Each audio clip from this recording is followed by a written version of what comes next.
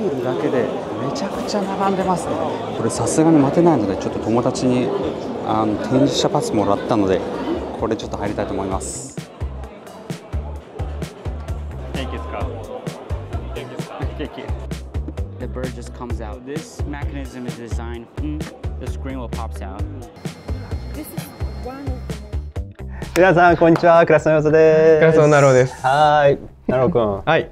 先月韓国。ね、行きまして。また行かはりまカフェシしたョー行きまして。ごめんなさい。報告遅くなってごめんなさい。いや、全然。ちょっとカメラ持って行って。一人でカメラ難しいですね。そうですよごめんなさね。い。ちょっとなんかあんまりうまく撮れてないですけど。公開報告か。今回、本当に僕見てないんで、そうそうそうそう。今回。何にも知らないです。韓国どうだったかと。カフェショーどうどうだったかと。はい、なんか面白い製品があったのか、ロースタービレッジどうだったのか。ちょっとそういう話共有できたらというふうに。カフェショーとワールドオブコーヒーってどう違う？前回のプサンがワールドコーヒーでしたね、アジア初のワールドコーヒー、で今回はまあカフェショー。カフェショー。カフェショーはまあ韓国のイベント。あ韓国版 CAJ みたいな感じですね。韓国の、うん。えーコーヒー協会がスポンサーしている、まあ、コーヒー協会でもないのか。結構いろいろカフェ系の機材とかも結構いろいろあるから、うん。あのコーヒーもあるしフロアが何個か分かれてて多分4階かな、コーヒーかな？で1階が全体もうちょっとレストラン寄りであったりとか、うんティーとか、いろいろ商材があって。ワールドコーヒーはそのスペシャルティーコーヒー協会が主催している世界でいろんなとこでやってるイベントですね、うん。まあ、正直カフェショーの方が盛り上がった。っていうのも多分もう歴史長いから毎年やってるし、でソウルっていうところだし、うん。まあ、どうしてもね首都なので、う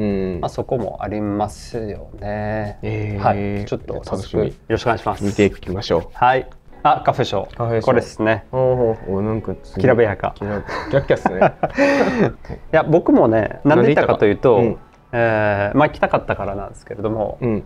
あのやっぱまあテンションちゃ並んでるじゃないですか。そうですね。うん。これロースタービレッジの方なんですけれども、うーん。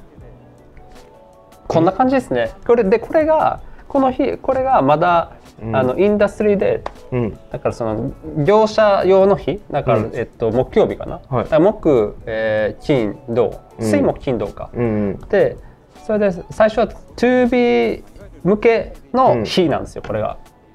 ただそれでもこんだけ一般のお客様が来ているなるほど。はい、だからこれ土曜日金曜日とか土曜日になったらもうこれ以上もうえげつもうまたここからまた入るだけでこれだけ並んじゃってるっていう。なるほどはい。なるほど。でこれじゃあロースタービレッジの方ですね。これ朝からずーっとこういう感じっていうことですよね。すごいな。うん。でこれあのちょっとももらもらって。誰ですか？ドライノットっていうちょっと友達のロースター、はい、ちょっともらもらえたんで。そういうことですね。はい、そのまま、うん。あのはい入ることな並ばずにでも本当もなノープランで行ったんでその場で当日券買おうと思ったんですけど当日券買ってたらもうあれを並ばなくなるほど。やばいってなっておーやばすぎる。ちょっとちょっと貸して。ちょっと貸して貸してもらいました。あ、リーブスさん。でやっぱりあれっすよね。リーブズさんとうん。フィロコフィアさんが日本から行ってたんですけれどうも、ーん。聞いたんですけどすごかったみたいです。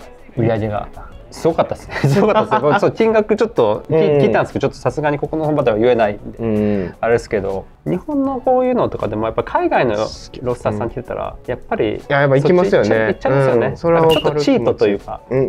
チート？そうそう多分僕たちも言ってもやっぱりすごい、なるんですかね？やっぱレアレアなものがやっぱりね、うん、あ、もちろんそうですよね。普段は非日常的な。体験をしたいっていうところでね。やっぱりそういったところにすごく、まあ、人集まるんだなっていうのを改めて感じさせてもらったんですけど。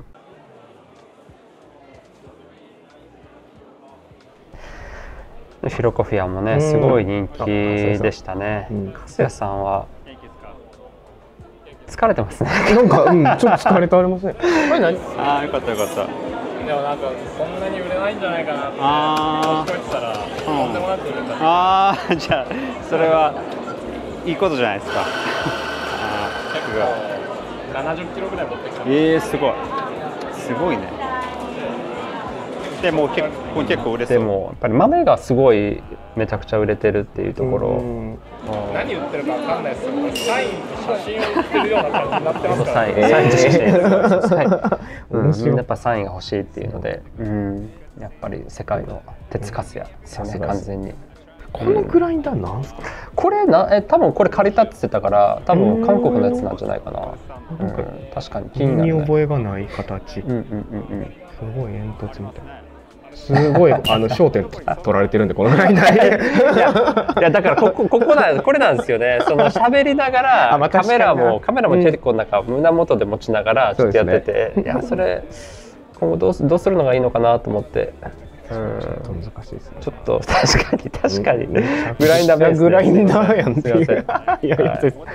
うん。しかもあれなんですね。ブースの形うん。って、あのいわゆる日本の SCJ のイベントと違って結構区画がしっかりしてるというかあ各コーヒー屋さん。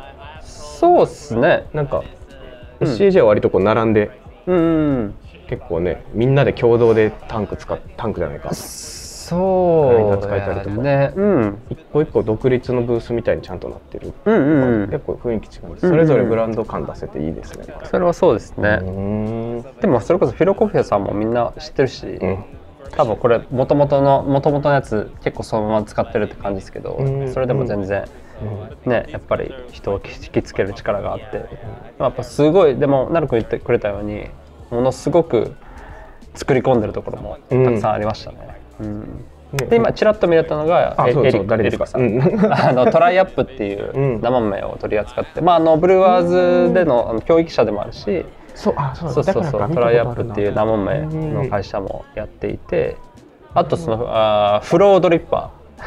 呼び方にしたいけど。FLOW ですよね。のドリッパーの開発もしていて、あ、えーそうなんですね、はい。全部エリックさんですね、まあ、エチオピアまあそのそれこそタミル・タダセさんとかうん。結構有名ですけれども、うん。結構アフリカ系にすごい強いところで、あのフィロコフィさんとかも結構使っている。そうなんですね、あのマレーシアとか東南アジアとか行ったら、うん。結構トライアップさんすごいみんな使ってて。トライアップさん使ってるところはまあ台湾この前台湾行った時もそうなんやけど、うん。トライアップさん使ってるところはそのフロードリッパー結構使ってるところが多かったです。結構面白かった。でフロードリッパーも買ってきたから。あうん。FLOW の FLO そうそう ややこしいけど FLOW の方のフロードリッパーも買ってきたからちょっとまた検証したいなとは思ってはいて、うんで次これがあのフィロコーヒーさんの真向かいだったんですけど、うん。あのカイロコーヒーコレクティブっていうのへー。これがもうイベリックトルココーヒーで作っててこれエジプトのコーヒー屋さんへえでエジプトってなかなかレアじゃないですか、うん。エジプトのコーヒーカルチャーどうなってるんだって全く想像つかなくて、うん。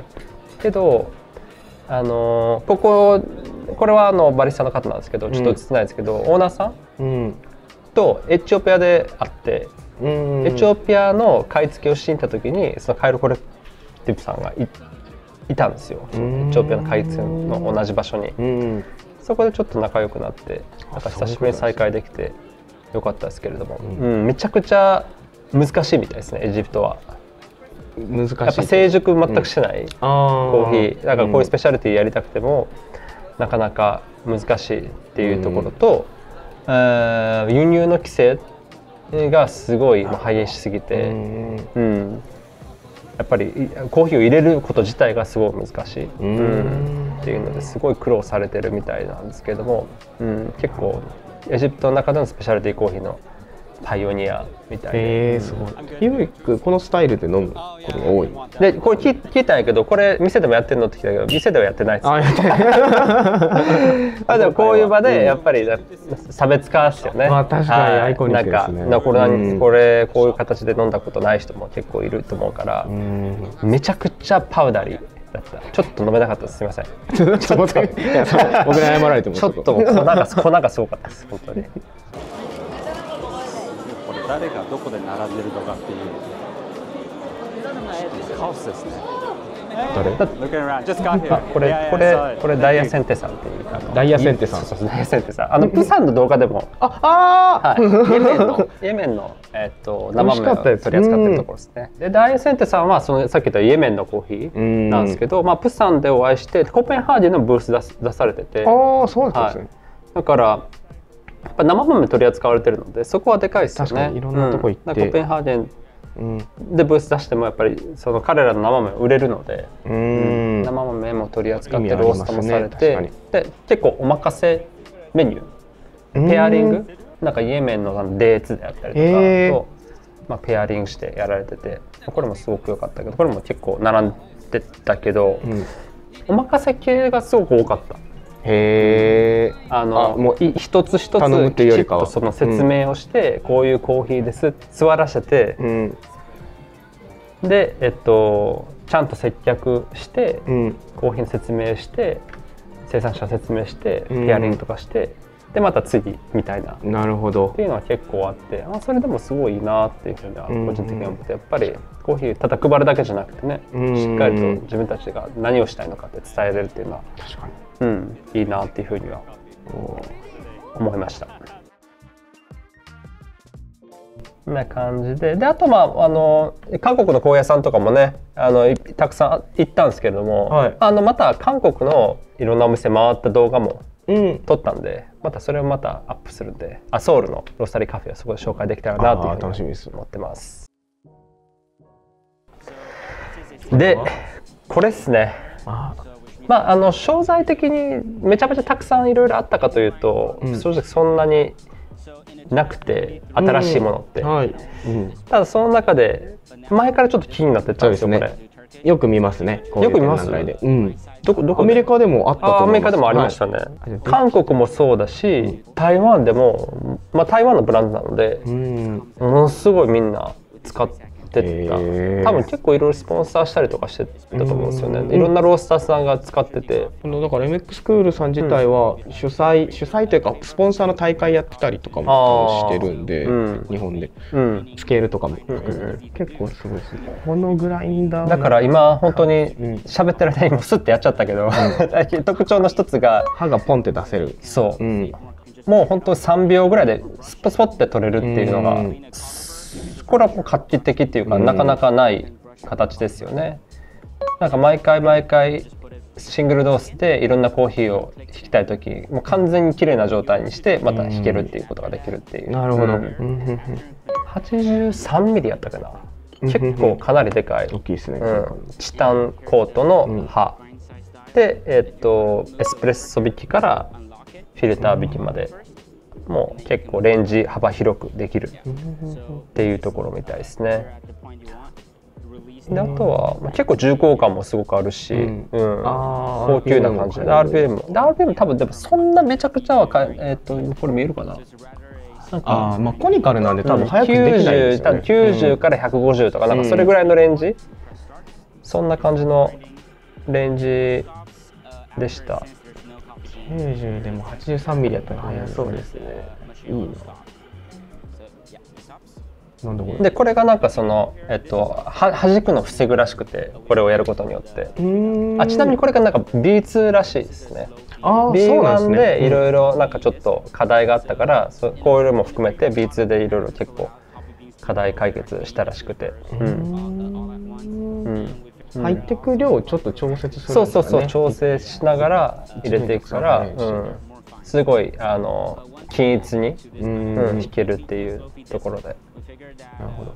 グラインドのスピード重視ではない感じうんですね、うん、業だ業務でも使えそうなそうはねねそうはね。だから韓国でも結構いろんなロースターさん使っててフェルトコーヒーさんっていうところと結構仲いいんですけど、まあ結構いいって言ってて台湾まあ台湾もしまた別動画やるかわかんないですけど台湾とかはあのオレアさんとコラボししてブース MX クールかけるオレアみたいな感じで結構デカデカとやってて。そうですね。でマルティンもすごいいいっつったからうん。なんかマルティンもオーストリアでちょっとやりたいかもみたいな話をしてるらしくて。なるほど。うん、まだ日本で代理店さんがなんかないらしいっすよね、なんかどうみたいん。なんか話してるのは話してるみたいなんですけどうん。ちょっとまだ決定はしてないみたいで、なるほど。うん、なんかクラスのことすごくなんか好きでいてくれてて。うんまあ結構なんかすごい喜んでくれてその僕そのうん。興味を持ってることに対して。クラスのすごいファンで。ああそうなんですね。なんかそれはすごいなんかありがたかったですね。とりあえずでも買おうかなと思ってて。ああ一旦、なるほど。一旦。うんサンプル。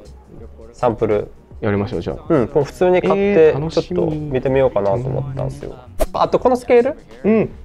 もジャンって出てくるうむしろこのスケール俺めっちゃ欲しい。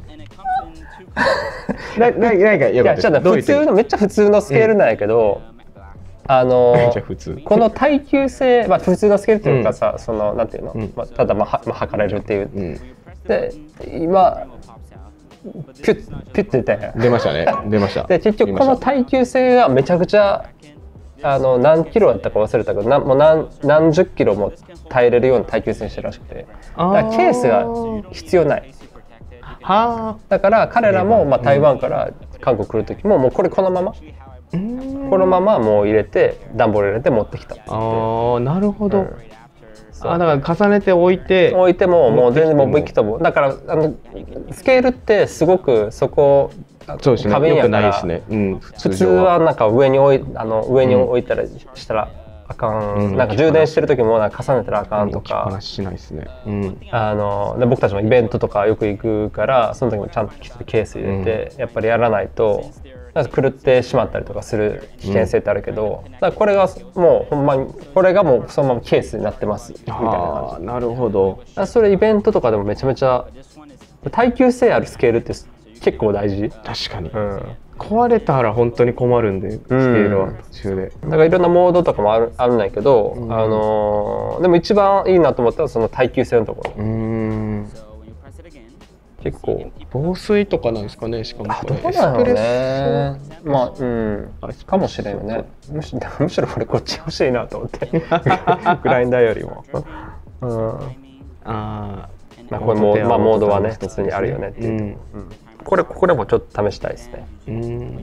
このディストリビューターさんはやっぱカプセルもすごい売ってるらしくていろんなロースターさんのカプセルをめちゃくちゃ売ってるらしくてあカプセル市場がすごいらしいです韓国は。いろんなロースターっていうのは日本あ日本というかその現地の韓国のロースター。そう、まあ、海外のも取り扱ってるやっぱ韓国の方がすごい多い、で韓国のロースターさんはやっぱりすごくカプセル作ってるって。作ってらっしゃいましたね。で、プさんもえっと思いましたそれ、大きいところで2社あるらしくてカプセル作ってるところが、うん。うん。まあ、1社あること自体もすすごい、ね。日本とかないじゃないですか OEM できるところがない状態なので、それが普及につながってない一つの要因かなっては思ってて。ただ韓国はまあ大きいところ1個あって、でかつそれでもう1個出てきていい意味合いでそのすごい競争をしてて、だからその品質とか価格帯とかも新しく出てきたところがクオリティ的にはちょっと超えてるんじゃないかみたいな話をされてらっしゃったんですよねその担当の方が。すげえ、うん、だからいい意味でなんかカプセル市場がその OEM で作る方もそうだしロースターさんも今の出してるし、まあ、モーニングも結構売れてるしみたいな。う、ーん。うん。すごいいい循環ができてるらしく確かて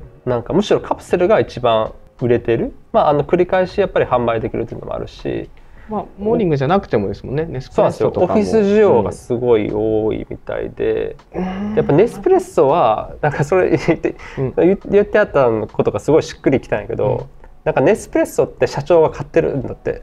うん。ネスプレッソマシンは、うん。その会社として買ってるんだって。うん。でもやっぱ従業員がカプセルを買うときにやっぱりちょっといいやつ飲みたいからなるほど。会社の経費でうん。カプセル買うときにやっぱそういうサイト行って、まあ、いろんなのがあるから、うんかまあ、そ彼らがそういうサイトを運営してるらしくてモールみたいなの。で結構買ったりとかしてるらしくて。みんなそうそう。面白いなそれ。いろいろそのカプセルの動かし方っていうのを、モールとかそのホテルとかオフィスとかいろいろ聞けたからそれすごい良かったけど、うん。うん。やっぱカプセルを作るってところですね。作らないといちょっけないとやんないといけないですよね。僕は作らないといけない。でまあ次が、えー、イカワなんですけど、うん。まあイカワはもちろんご承知の通り、はい。えっとサンプルロースターですね。そうですね。えーっと、いやでもここの担当の方が事前に連絡くれて、うんうん。ぜひなんかブース来てほしいと。えー、あそうやったんですね。なんか一緒にクラスと一緒にやりたいですということをなんか言ってくれてで新しいそのプロえっ、とプロあイカワプロうんうん。P100X うんうん。やったかな？っていうのがまあ結構最近出てこれを結構もっと日本で押し出したいっていうところでした。うん、DCS さんが今代理店をされてるんですよね。あーで実は僕たちもずっとイカワ使ってて、はい。最近ねロイストが来てそうそうそうそうそだいぶロイストですけど今は。うだいぶロイス だいぶロイスです。けどだいぶロイスですうん。うん。でもイカワはもちろんですね世界的にもやっぱりえっとなんだろう焙煎するまあ、ロースターとしてそのイイカのサンプルロースター使ってる人もすごく多いし僕もそのプロがで出たってこともなんかなんとなく知ってたんですけど全然うん。そうですね。知らなくて、うん。あの機能のことであったりとかどういったことができるのかっていう、うん。でもその井川さんはなんかそれがやっぱり彼らも課題として感じてるらしくて、うん。もっとなんかクラスであったりとか他のロースターさんイカを使ってるところと一緒になんかその日本の業界盛り上げていけるような形を取っていきたいっていうことを言って言ってはって、ん。うん。だから代理店代理店っていうよりも、まあ、代理店はね D 社さんやってるので、なんかコラボしてなんかできないかであったりとか、うん、なんかそういうインフルエンサーマーケティングみたいなのできないかみたいなそういう話でしたね。うん。これどう違うんですかね？えっといくつかんあって、えーまあ、その同数のところが、まあ、あのキャパが大きくなったっていうまあ、本当50のところが100になったっていうところ、えーっていうところとあとは、まあ、温度のセンサー、うん。センサーの数が結構増えた。だから測れるところがすごい増えた、まあ、あのロエストも一つの特徴として、センサーがすごい多いところが特徴だと思うんですけど、まあ、そのセンサーがすごい増えたっていうと。あとなんか例えば、えーファーストクラックディテクションうん。うん、位置ハゼを自動的に検知するっていう機能っていうのも新しくできたり新しく入ったりとかうん。あと水分値、うん。どれだけ水分値が放出されるかっていうのがなんか見れるらしくてグラフで。ほうほうほう。でそれって僕もだから水分値を測るってことを今まで焙煎の中でしたことないんで、どういうかどういう観点でそれがその焙煎の工程の中にうん。あのを入れ込めるかっていうのは、ん。ちょっと本当にやってみないと分かんないですけども、なんか今までそういう水分値を焙煎する中でどれぐらい水分値が減っていってるのかっうん。ていうのが放出されていってるのかっていうのが普通は見れないんで、ううんですね。なんかそこら辺とかもなんか、うん、すごい気になりました。であのスクエアマイルコーヒーさん、まああのい井川さんってあのイギリスの会社なので、うん。まあ、イギリスといえばスクエアマイルコーヒー、あのうん。ジェームズ・ホフマンさんが創業されてうん。いる、まあ、結構有名なロースタリーなんですけれどもスクエアマイルコーヒーさんとコラボしてスクエアマイルコーヒーさんが監修してやったらしくて、うん、だからやっぱり一番特徴としては今まで以上にその、イカワで焙煎したものがプロダクションローストその実際焙煎したのにその再現性があるっていうところが一番特徴らしくて、うん。うん。まあでも本当に多分これはもう確実に使ってみないと分かんないんで、うんうん。まあ、ぜひちょっと使ってみてくださいっていうところでした難しいですよね。なんかいろんな、ねまあ、い一応競合の商品をやっぱり押し出していくっていうのはね,、ね難しいですよね。一カテ一カテゴリー一商品にしなくて全然いいと僕は思ってるんですけど、どっちにしろ自分たちがいいなって思ったものはであれば別にそうだね。置けあの置ければ別にいいのかなとは思いますね。の井川さんの方としても他の例えば競,、え競合？うんを取り扱ってるところうん。は、まあ、代理店はあのさせないっていうポリシーらしくて。だから仮に代理店とかっていう話だったとしても、まあ、ロイスともしやってたらちょっと難しいっていう話だったので、まあ、なおさらそういうなんかコラボできないかっていうところうんだったんやけれども、まあ、メーカーさんとしてもそうですよね。うん。うん。はい、ここは海の向こうさうん。んご存知ですか？存じ上げております。はい。南子さんとは？海の向こうさんと海の向こうさんとなんかディードリヒがなんかコラボはい。ブースしてて、結構でっかいブースやってうん、ました、広そうですね。生豆の会社でですすね。ねうん。で魚途中さんっていうのが、うん。あの本体としてあるんですけど京都の会社で。で、まあ、この生豆担当されて山本さんとは結構もう前前職からずっと仲良くて。うんさせてもらってて。前すごい。前職からあ山本さんの前職。ああ、なるほど。はいはい。うん。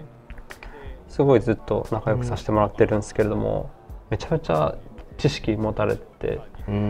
で生産国にきっちりも入り込んでやっぱり一からその生産の技術とかを、うん。あーすごく生産者の方に教育したりであったりとか、うん。バーって見て、うん。韓国の方が勢いあるよなと思ってうん。なんか勢いがあるっておっしゃってましたね、今、韓国の方が。韓国の方が 韓国の方がいい,、いいって。いいってっていうのは いいってってどういう意味かというとなんやろな。でもいい意味でも悪い意味でもなんか日本ってすごいり律儀じゃないですか。律儀。うん。例えばどっかと取引してたら、うん。まあ本当にち違うところで営業来ても、うん。あすいませんちょっとコートやってるんでみたいな。あなるほど。うん。でも韓国は例えばなんかこういうのどうすかっつって「いやよかったらじゃあちょっと買おうわ」みたいなああなるほど。感じらしいですよね。その場でもうやっぱり決める衝動的にも、うん。はいって決めてしでそれってももちろんいいところ悪いところすごくあるかと思うんですけれども、こういう新しいところの事業をすごくしやすい。うんまあだからそのカフェショーも全体的にやっぱりブースみんなやっぱブースにすごい力入れてて、うんうん。すごいきらびやかなブースとかもすごいたくさんあってだけれどもあここだからすごいなめっちゃかっこいいな、めっちゃすごいことやってんな。でも来年のカフェショーだってもう倒産してると。かああなるほどちょっと刹那的な感じなんですね。そうそうそう日本ってそんなあんまないじゃないですか。まあまあまああんまなあんま聞かないですね、ん。そういうの、うん。ねまあだから言い方あれやけど、まあ見栄を張る見栄を張ってもこういうのをとりあえずお金かけてパーン出しちゃうみたいな。っていうことはその現地のかそれをその表現は現地の人がうん。そう言ってましたね。うん。なるほど。でも生豆とかもやっぱりその現地の会社とかもうん。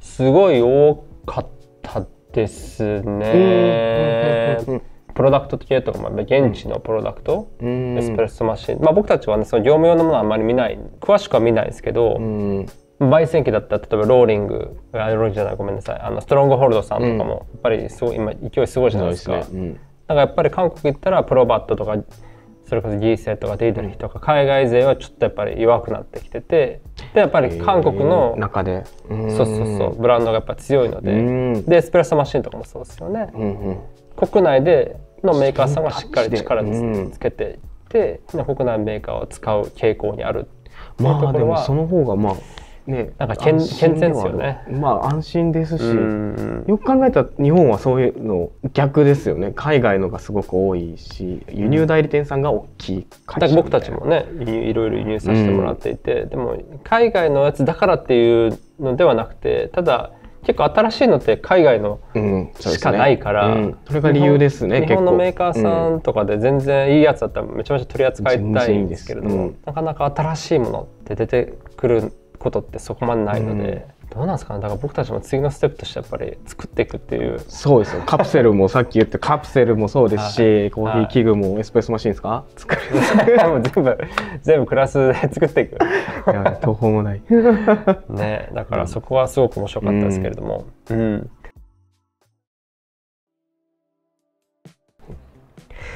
でこの GSC さんもまああのおー。それがおなんだろうね。あれ？いうん。あさスンヒーさん、うん。スンヒーさんあはい。知ってます？スンヒーさん。あのこの間プサンでお会いしました。プサンで。はいはい、ビンボヤージュって言って、うん。はい、女性のなんかあの農家さんを支援されている、うん。すごい素敵なえ団体を作っていらっしゃる方なんですけれども、うん。まあ、GSC さんと今コラボしてうん。今度今度ブース出されてて。でその GSC さんの方々もここですごくなうん結構いろいろ仲良くなったんですけど、うん。まあ、日本でいうと渡るさんみたいな生豆の会社、まあ、一番大きな生豆のスペシャリティでいうと一番大きな生豆の会社さんですね。なるほど。でえっとそのまま晩ご飯も一緒に行かしてもらったんですけど。どういうことですか？そのまま一緒にあそのまま。そのまま一緒に晩ご飯も一緒に行って、うん。うん。でなんか、うん、それでたまたまあのスタンダードのトシさんもトシさん。トシさんも横にいて一緒になんか僕僕が誘われたのになんか僕もなんか誘って 一緒にサムギョプサルちょっとおごってもらいましたけど。で GSC さんはやっぱりですごい面白い、まあ、生麺の会社なんですけど、生豆のお店があるんですよ。なんか韓国中になんか7店舗ぐらいあるらしくて。えっ、と実店舗ってことですか？買えるんだ。だから、あうん。カフェなの？って聞いたんだけど、カフェじゃないですよねへー。こういうサービスじゃなくて生豆を売ってるんですよ。すごっ。生豆をなんかパッケージを、はい。あその朝袋もそのまま買えるし生豆のパッ小小分けしたパッケージも売ってるらしくて。ええだからなんかちっちゃいロースターさんが、うん。あ生豆の500はいはいはい。生豆いやいやもうそれでもう焙煎するんだって。それ結構新しいです。日本だったらそれやっても多分流行んない流行んないんじゃないですか。成立しなさまあ、うん。マイクロロースターってそのねホームロースターの人が増えてるんで、はい。ある種いけそうな気もしますけどいわゆるめちゃくちゃいいロットって、はい。ロースタリーさんがある種独占しててカフェに行くからこそ飲めるみたいな意味あるじゃないですか、それも含めて全部並んでたらなんかあるちょっと崩壊というか。崩壊ししてないんですよ。すごいっすね。それだけやっぱり多分いろんなレイヤーがあるんでしょうね。いろんな、うん。いろんな層のなんかコーヒーを焙、まあ、それこそホームロースターもそうだし、スペシャルティコーヒーロースター、まあ、ちゃんと焙煎して、もうちょっと大きい焙煎機を持ってる人、また違うところからソーシングしたりとかしてしてるだろうし、なんか、だからそれがなんか成立するんでしょうね。うん。うん。すごいっすね。でこのちなみにそのご飯の時あのボラムも一緒に行ったんですけど、うん。ボラムさん、うん、あのボラムさん。ボラムさん。ごめんなさい。ちょっと ボラムさん、うん。ボラムさん。ボラムアウム、ボラムアーム。あのバリスタチャンピオンですね。あーブラジルのごめんなさい。はい、ブラジルのバリスタチャンピオンなんですけれども、まあ韓国でなんかめっちゃ人気らしくて、ほなんかバチェラーみたいなのあるやん。なんう恋リアですよね。恋愛リアリティショー。はい。出たらしくて、え？え すごい。なんか結構いいところまで行ったのかわ一応わかんないですけど、あれそういうのあるんですか？ちょ僕も僕も見なくて。て分かんなくてあれはいなんか成立したのかな？わかんないですけど。へえいろんな年齢層の女性の方にすごい人気らしいです。あなるほど。はへえそれがそれがボラムのプチ情報。いやいやもっとあったでしょ。コーヒー関係なくまあちょっとねもうほそのはい。他結構いろいろあったんですけど、まあちょっとうん。バランスよくロースターベレッジと、まあ、ちょっと器具器具系と、まあ、いろいろ生麺であったりとかちょっと情報を取りまとめたんですけどどうでした？いやいや面白かったです。結構会場の作りとかちょっと見ちゃうんですけあどー。全体的なその SCAJ だと本当大きいドーンのとこにうんうんうん。バッと集まるとか、えあのプサンの時もうんうん。大きい会場に人がって感じですけど、うんうん。フロアが分かれててその企業ブースのところとビレッジのところもちょっと違うしうん。作りですよね、うん。ブースの作りもちょっと違うし、うん。とかは結構えー、なんかやっぱまあ当たり前ですけどね会場によって国によって違うんだなっていうのを思いつつ、うんめちゃくちゃ目新しい器具っていうのがそんなあるかっていうわけじゃないんですけどシンプルにその国の韓国のコーヒー事情というかコーヒーマーケットみたいなのを少し垣間見えたのは面白かったなと思いますね、うんやっぱり。今も印象に残ってるのはもうバチェラーしか今印象に残ってないんですけど頭に。そうか、はい。ねななんか見見たいですけどね。うん、ちょっと見たいですね。でもまあそれだけやっぱりそのコーヒーまあ最近だったらねそれこそ粕谷さんとかもいうん。ろいろテレビ出られたりだったりとか,、とかなもうちょっとなんかコーヒーのうん。世界の人が少しちょっと世間一般ちょっとち近い存在になりつつあるというか、うん。そういうコーヒーが人々みんなのその生活に浸透していってるっていうところなのかもしれないですね。まあ韓国は本当にこのカフェショーは2018うん。